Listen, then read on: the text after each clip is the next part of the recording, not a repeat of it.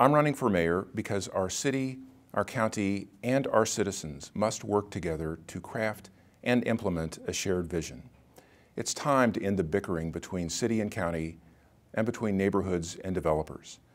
I'm Skip Walther, and I have the proven leadership skills to forge a more cooperative path for Columbia's future. Columbia is growing because of the good work of our city, our county, our businesses, and our institutions. And each impacts public safety, economic development, infrastructure, and the environment. We have a wonderful oasis that is Columbia, yet we are not an island. And in order to grow together, we must work together. Our most important job is to make sure that our families are safe. Now, downtown Columbia has seen a remarkable rebirth, yet there's a flip side, where the increase in residents and revelers has created safety concerns for some. Public safety is the most important job of any government, and I will make sure that it is our top priority.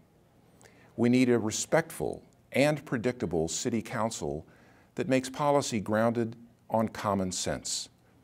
Our rules must be clear and they must be fair to neighborhoods and to developers.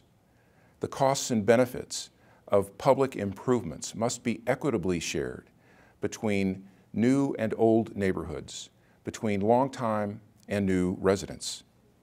As Columbia grows, we need to ensure that the rich tapestry of our neighborhoods remains intact.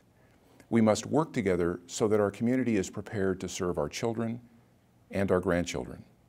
As mayor, I will represent everyone in Columbia. I will listen to and respect each of you, and I will use my legal skills and training and widespread experience to make Columbia an even greater place to live.